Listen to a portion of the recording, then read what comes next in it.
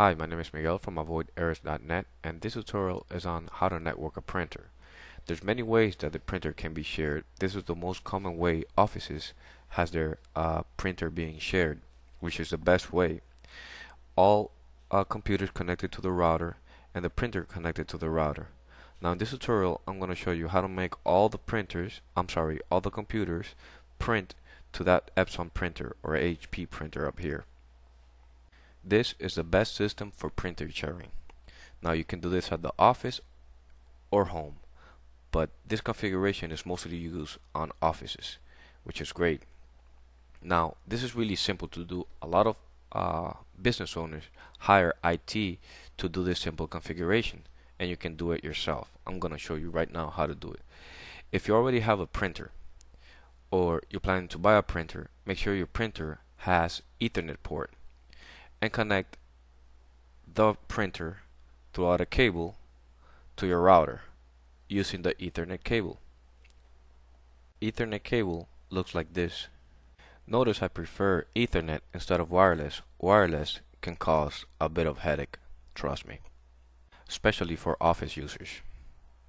Now before we start, if you have a software that uses uh, like Norton as a firewall, make sure is properly configured or disabled to start. In my case, I'm using a Samsung uh, network printer.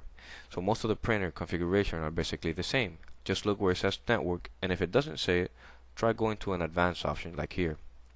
And I'm going to go ahead and click on custom installation because I don't see anywhere where it says network here. In the custom installation, I'm going to just accept the agreement and click next. It should be basically the same. And here I see wired wireless.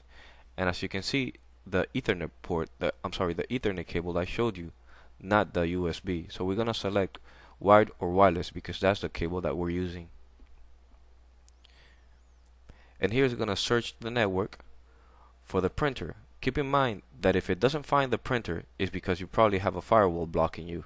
Make sure that the firewall is disabled or properly configured. As you can see the IP address of the network uh, printer and all the specs. I'm just gonna go ahead and click next. And keep on clicking next because it's, it's really simple to, to do.